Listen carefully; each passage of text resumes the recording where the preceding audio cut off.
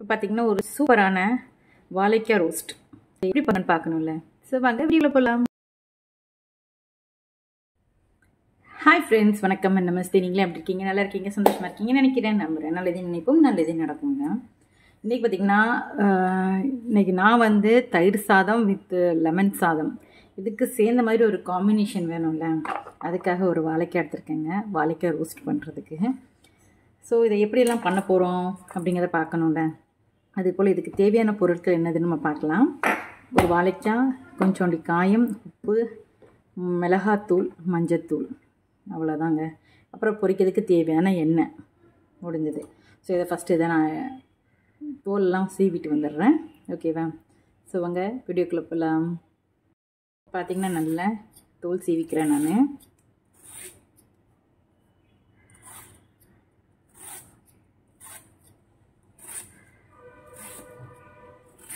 சிம்பிளாக முடிஞ்சிடும் ஆனால் ரொம்ப டேஸ்டியாகவே இருக்குங்க. ரோஸ்டட் மாதிரி நம்ம ரோஸ்ட் பண்ணுற மாதிரி தான் இருக்கும். ரொம்ப மசாலாஸ்லாம் இருக்காது இதில். ரொம்ப மசாலாவை தேவையும் படாது. தேவைன்னா உங்களுக்கு இதோட கோட் பண்ணுறதுக்கு வேணால் நீங்கள் வந்து அரிசி மாவு வேணால் யூஸ் பண்ணிக்கோங்க. நான் இப்போ பார்த்தீங்கன்னா ஒரு இன்ச் அந்த சைஸில் நான் வந்து இதை விட்டுறேன். இப்போ பாருங்கள் தெரியுதா? இந்த சைஸில்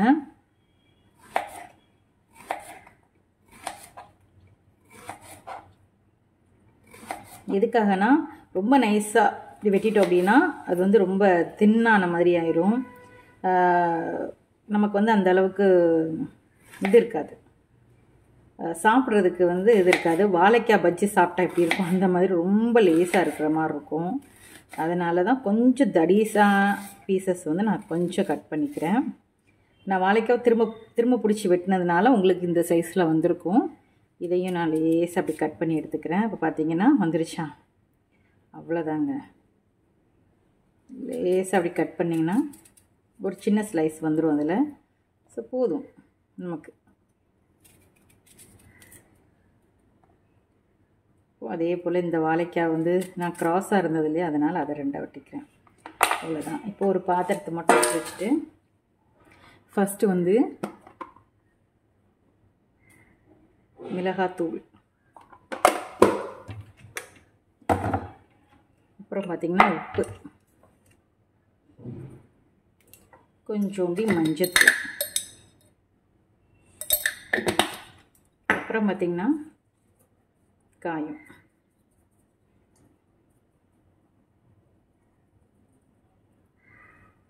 அவ்வளோதான் தண்ணி மட்டும் லேசாக எடுத்துக்கிறேன்.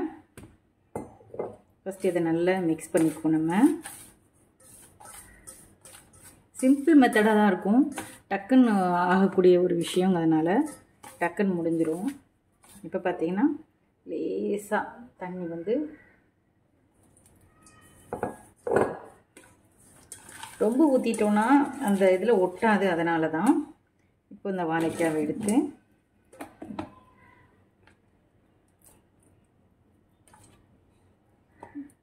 நம்ம மசாலா பண்ணுவோம்ல மீன் மசாலாஸ்க்கு தடவும்ல அந்த மாதிரி இதை எடுத்து இப்படி தடவி தடவி நம்ம வச்சிடலாம். உப்பு உரப்பு.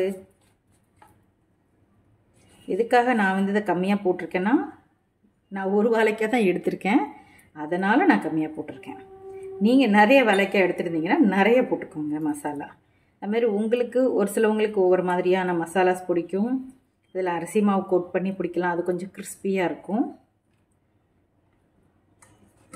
இப்போ பார்த்தீங்கன்னா மசாலா வந்து கீழே நிறைய இருக்குது ஏன்னா நம்ம வந்து லேசாக இதை கோட் தான் பண்ணுறோம் அதனால் இப்போ பார்த்திங்கனாலே உங்களுக்கு தெரியும். சிம்னியும் ஆன் பண்ணிட்டேன். சிம்னியில் இருக்க லைட்டும் ஆன் பண்ணிட்டேன். இப்போ பார்த்திங்கன்னா உங்களுக்கு தெரியும். இது வந்து அப்படியே ரோஸ்ட் பண்ணி சாப்பிடும் போது சூப்பராக இருக்கும். நம்மளோட எந்த சாதமாக இருந்தாலும் நம்ம இது கூட ஒரு ஒரு ரோஸ்ட் பண்ணி சாப்பிடும் போது அற்புதமாக இருக்கும். இதில் இஞ்சி பூண்டு பேஸ்ட்டு நான் எதுவுமே ஆட் பண்ணலைங்க. நான் பிளெயினாக தான் நான் பண்ணுறேன் உங்களுக்கு இஞ்சி பூண்டு பிடிக்கும். நீங்கள் ஆட் பண்ண நினச்சா நீங்கள் ஆட் பண்ணிக்கலாம். இது பார்த்திங்கன்னா இப்போது விரத நேரத்துலலாம் இருக்கும்போது நம்ம வந்து இஞ்சி பூண்டு பேஸ்ட்டு அப்புறம் மசாலாஸ்லாம் ரொம்பவே ஆட் பண்ண முடியாது. கொஞ்சம் நார்மலாக சாப்பிட்ற மாதிரி தான் இருக்கும். அந்த நேரத்தில் கூட நம்ம இந்த மாதிரி வந்து யூஸ் பண்ணி சாப்பிட்டுக்கலாம். அது ரொம்பவே நல்லாயிருக்கும் பாருங்கள்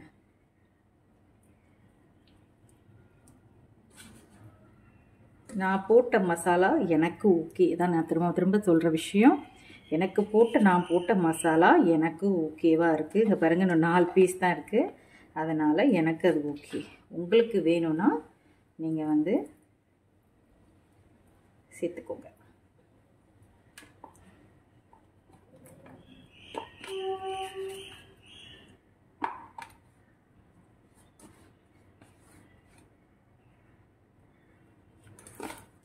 இப்போ பார்த்தீங்கன்னா அவ்வளோதான் இப்போ எல்லா இதுலேயும் பார்த்துக்கிட்டு உப்பு உரப்பு மட்டும் நீங்கள் பார்த்துக்கோங்க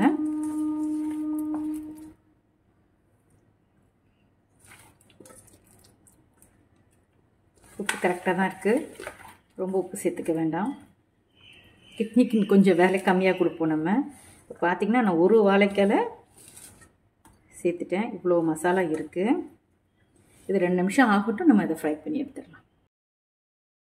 இப்போ பார்த்திங்கன்னா நான் ஒரு சின்ன தவா வந்து எடுத்திருக்கேன். அது வந்து இரும்பு கல் தான் நான் யூஸ் பண்ணிக்கிட்டு இருக்கேன். அப்படிங்கிறனால ரொம்பவே நல்லாயிருக்கும் அந்த ஃப்ரை பண்ணுறதுக்குலாம் ரொம்ப அமேசிங்காக இருக்கும். ஃபிஷ் ஃப்ரை பண்ணுற மாதிரி தான் நான் பண்ண போகிறேன் ஆனால் சாலோ ஃப்ரை பண்ணுறேன் ஓகேவா இப்போ பார்த்திங்கன்னா நான் வந்து எண்ணெயெலாம் எடுத்து வச்சாச்சு.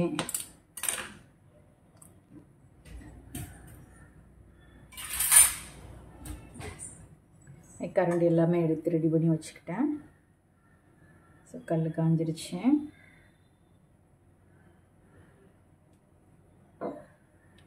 கொஞ்சோண்டி எண்ணெய் விட்டுக்கிறேன். ஒரு நல்ல சிறுவா ரெண்டு ஸ்பூன் அளவுக்கு அதான் எண்ணெய் விட்டுருக்கேன். இப்போ வந்து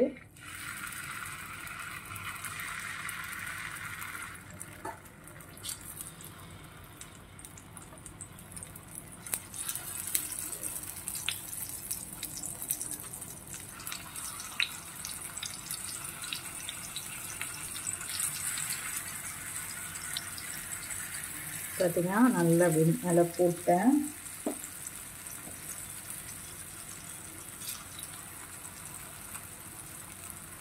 ரெண்டு பேட்சாக போடணும்னு நினச்சா கூட ரெண்டு பேட்சாக போட்டுக்கலாம்.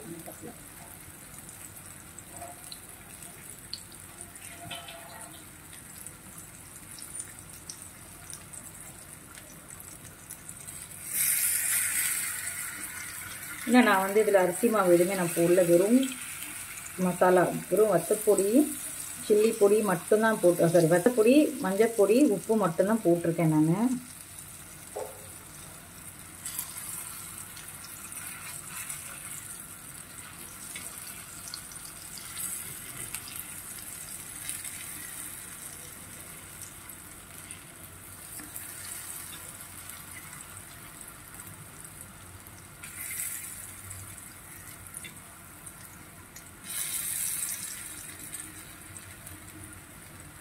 நல்லா ஃப்ரை பண்ணிகிட்ருக்கோம் நம்ம. நான் அடுப்பை ஃபாஸ்ட்டாக தான் வச்சுருக்கேன். ஆனால் பார்த்தீங்கன்னா நல்லா சீக்கிரத்துக்குள்ளே இது வெந்துருங்க.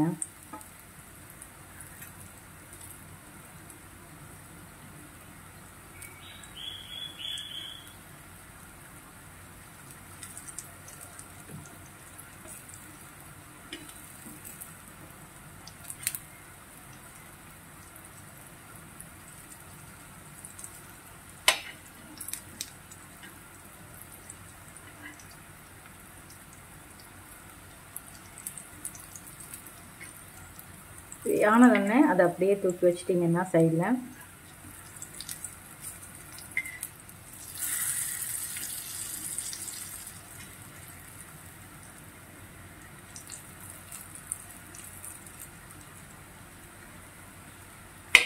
இதில் இருக்க எண்ணெய் எல்லாம் கொஞ்சம். பிறகு நல்லா வெந்துருச்சுங்க உங்கள் தெரியுதா உங்களுக்கு?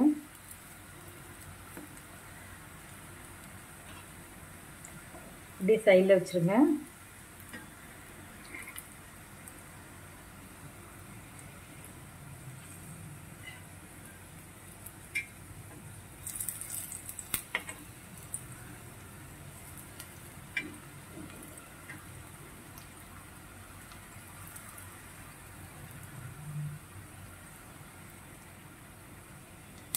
இல்லை. அந்த எண்ணெய் எது இருந்துச்சுனாலும் வடிஞ்சு உள்ளே வந்துடும் உங்களுக்கு. அதனால தான் திரும்ப அதே போல் இருக்கேன். பேட்டையும் போட்டு எடுத்துருவேன்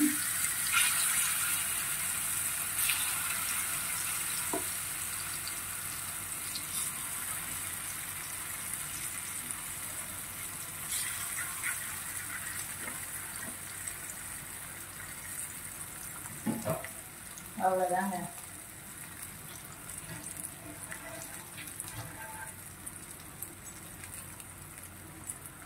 ஈஸியாகவும் ஆயிரும் உங்களுக்கு. ஸோ ஒருவேளை மார்னிங் நீங்கள் வந்து பசங்களுக்கு இந்த மாதிரி செஞ்சு கொடுக்கணுன்னா கூட டக்குன்னு செஞ்சு கொடுத்துட்டு நம்ம இது பண்ணலாம். இதில் இஞ்சி பூண்டு பேஸ்ட் போட்டுலாம் பண்ணுவாங்க. உங்களுக்கு ஆப்ஷனல் தான். உங்களுக்கு வேணும்னா நீங்கள் போட்டுக்கலாம்.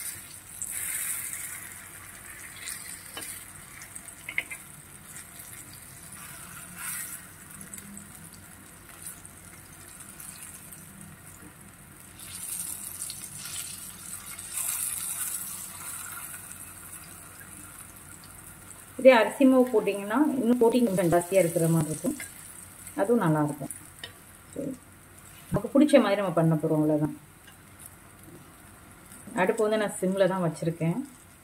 அதனால் யோசிக்காதீங்க சைடில் இருக்கிறதும் சேர்ந்து கருகிரும்னு.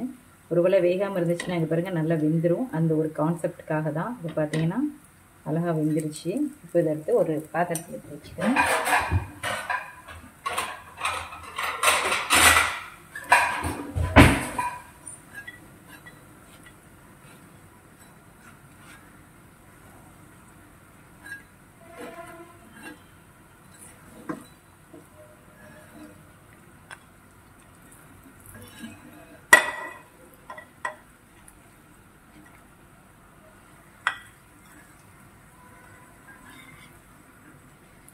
நான் வந்து கொஞ்சம் ஃபாஸ்ட்டாக வச்சு ஃபஸ்ட்டு பேட்ச் பண்ணதுனால கொஞ்சம் கீழே வந்து கொஞ்சம் பிளாக்காக இருக்கிற மாதிரி தோணுது.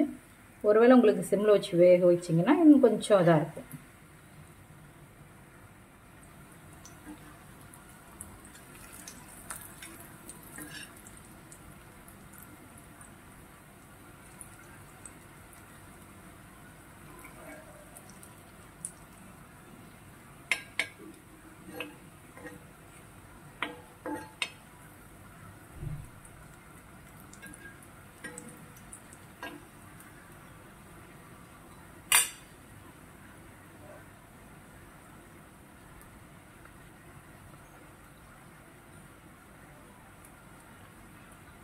எனக்கு உப்பு வரப்பு எல்லாமே கரெக்டாக இருக்குது அதனால் சூப்பராக இருக்குது ஒருவேளை நீங்கள் வந்து இஞ்சி பூண்டு பேஸ்ட்டு போட்டு அரிசிமாவும் போடணும்னு நினச்சிங்கன்னா போட்டு ஆட் பண்ணிக்கலாம்.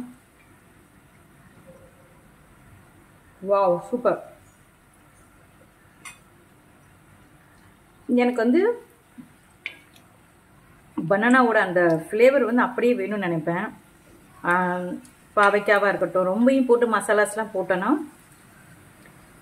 அதோட ஸ்மெல் ஒரு சரி அப்புறம் வந்து அந்த இதுவும் சரி.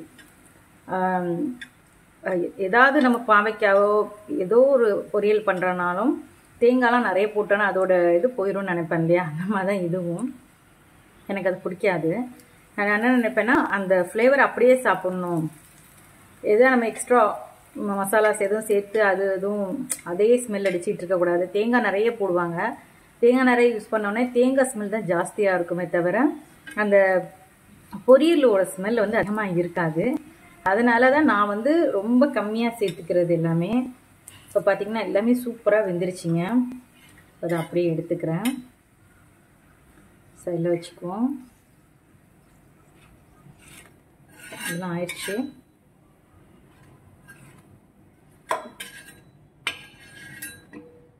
ஸோ சூப்பராக ரெடி ஆயிடுச்சு. ஸோ வாங்க சர்வ் பண்ணலாம்